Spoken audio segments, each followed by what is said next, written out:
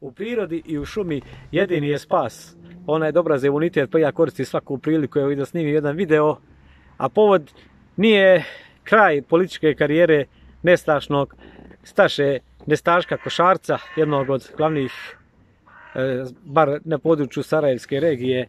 kadrova SNSD-a, već e, mnoge stvari koje se dešavaju iza kulisa krupne, koje ne prolaze dovoljno zapaženo i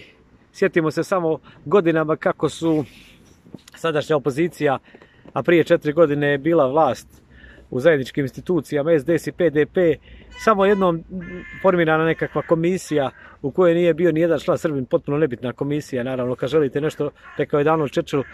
da obstruišete, formirate komisiju i na kraju ništa ne uradi. Tako je bilo i sa tom jednom u nizu komisija koja nije bilo Srba i pravila se drama, specijalne emisije, Škoro, na TV-u, RTRS, izdaja, evo vidite, probosanci, izdajnici, bakirovci, e, komisija formira nema u njoj Srba, to je dokaz, vidite, oni hoće da izdaju, oni su podanici Sarajeva. I evo na kraju smo spali da na najveću kapitulaciju, nije ka, najveća kapitulacija pad nestašnog staše, već staša nestaška, već e, je najveći e, poraz e, Republike Srpske to što je Bakir Izetbegović stavio veto da Božović bude ministar i što se Božović na kraju povukao i vladajuća koalicija pred Bakirom i pred njegovim vetom i što je Božović odustao od karijere, a što uh, novi lider na političkoj sceni Republike Srpske, Nenad Nešić, kandiduje novog kadra neizvjesnog momka Lučića. Ja ga lično ne znam, ali čujem da je ovaj sa 100 vuka završio srednju školu i moglo bi od njega biti dobar političar ako završi obuku kod Nešića, ako prođe nego ubrzani kurs. Vjerujem da će biti sigurno dobar ministar po njihovim vjerlima i da će sigurno imati ovaj ako ga prihvati Vakir, da će imati o čemu da pišu tabloidi žuta štampa, bit će afera na sve strane. No, vratimo se na nevjerovatnu činjenicu da je Božović nesuđeni ministar za ljudska prava, treći, evo čeka se treći katar TNS-a. Dakle, prvo je trebao biti onaj e, Ton Titoreti Draško Ačimović, koga sam ovako u skupštini rastorio i mislim da je nakon toga on je najavio da će me tužiti, on nije mi još tužba sliga, vidit ćemo da li će održati on to njegovo obećanje, ne znam šta je razlog tužbe, ali to taj lažni italijan je bio prvi kadar DNS-a i Marka Pavića, protiv njega je bio Nešić koji je svog kuma želio ili priku, ne znam već šta je, da izgura Božovića, mlađana koji je se veže niz skandala i na njegovo imenovanje je Bakir stavio veto i SDA i vidjeli smo da je ovaj Božović na kraju povukao u tešinu rekao da odustaje jer Bakir ne dozvoljava. Zamislite tog poniženja Republike Srpske da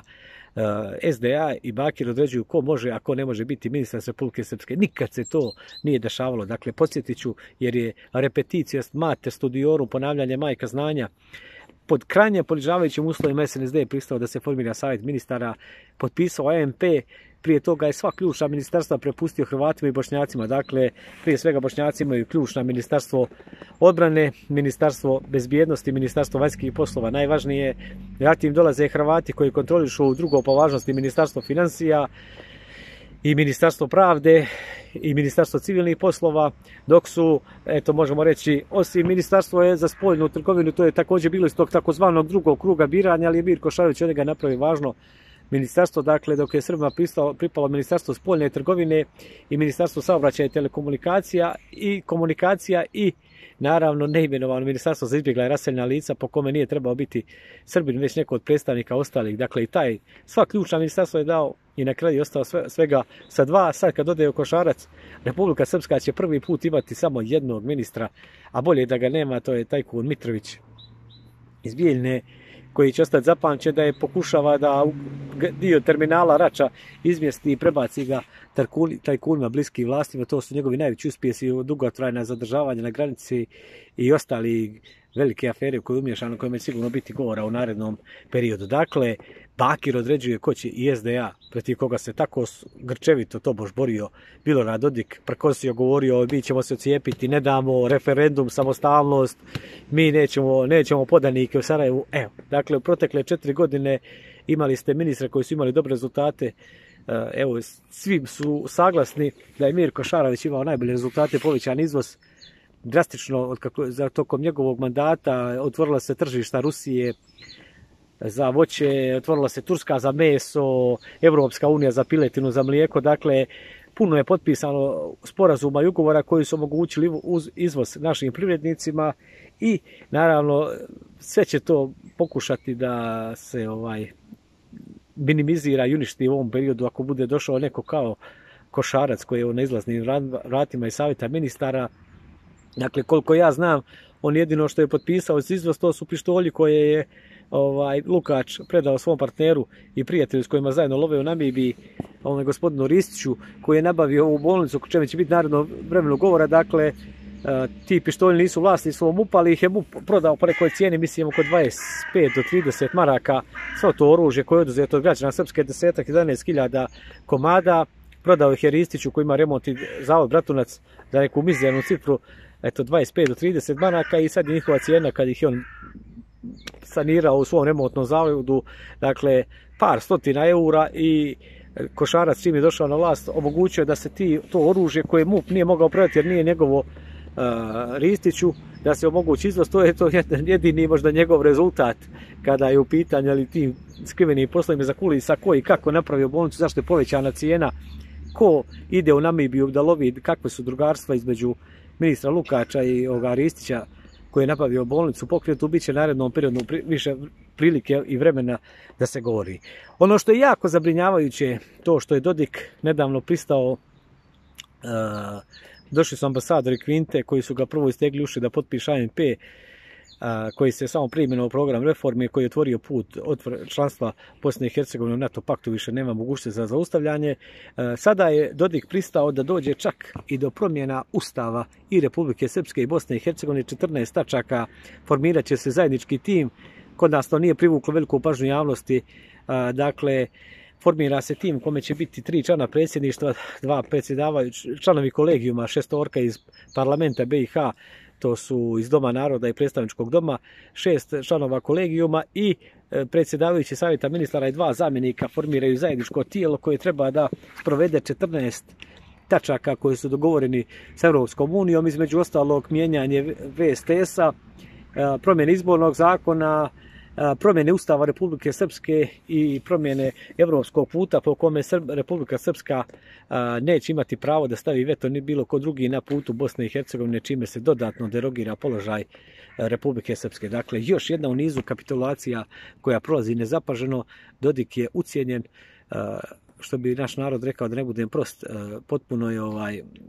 razriješio učkur i sad šta god traže, on je spreman da ispuni samo da mu daju kredite MMF-a i da ga, da ga ne diraju, da ga puste da još neko vrijeme ostane na vlasti, da opustoši ovo malo što je ostalo od Republike Srpske, ali on potpuno do kraja urnisao. Dakle, postaje, postavlja se pitanje otkud Milorad Dodiku koji stalno prenosi nadležnost i on kao član predsjedništva donosi odluku u Republike Srpskoj. Dakle, mi sad zavisimo od volje gospodara. Sad treba on da nam kaže kad će prodati Narodna skupština. Dakle, njegovom voljom kao člana predsjedništva BiH ukinut je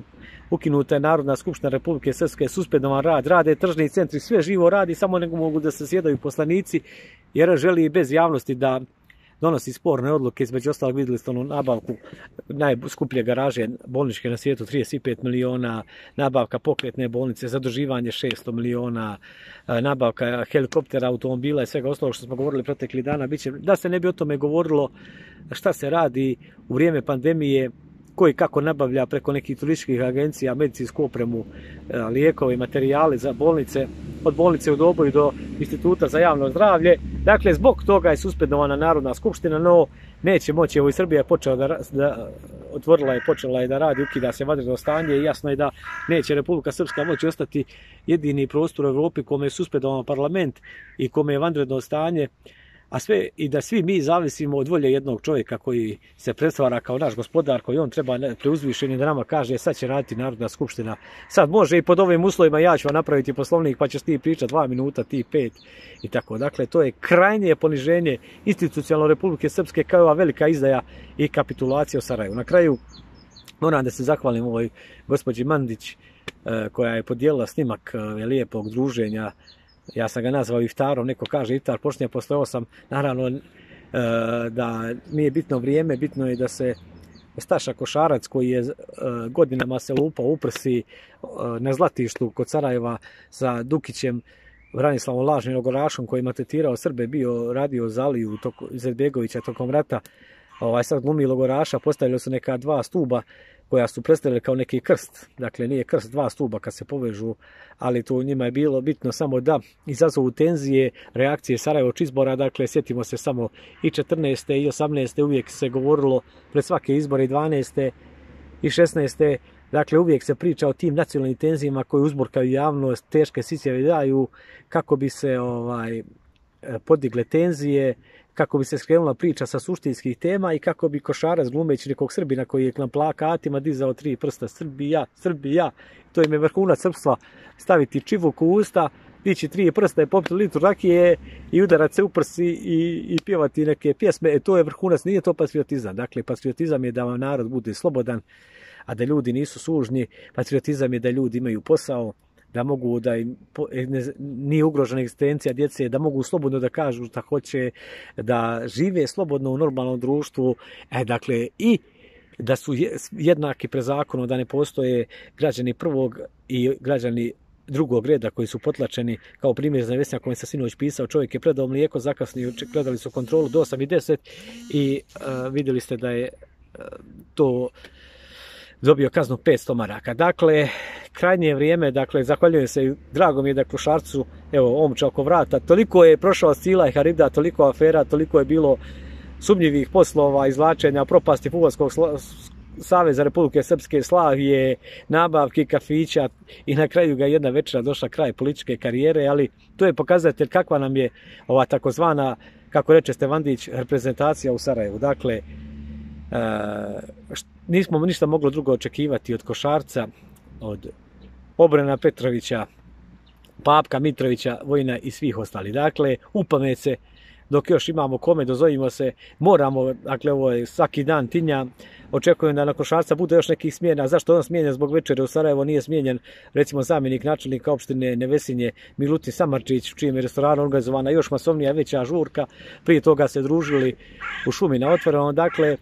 puno je e, puno je afera koje potresaju vrijeme pandemije i bit će o tome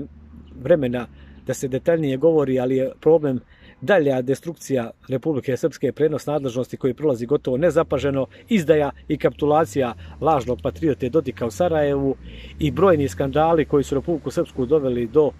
Eh, ova pandemija je golila sve slabosti i nemoći od zdravstvenog sistema do robnih rezervi i krajnije je vrijeme da narod kaže dosta je lupi šakom mosto i da skinemo ovu bagru sa vrasti. Do gledanja.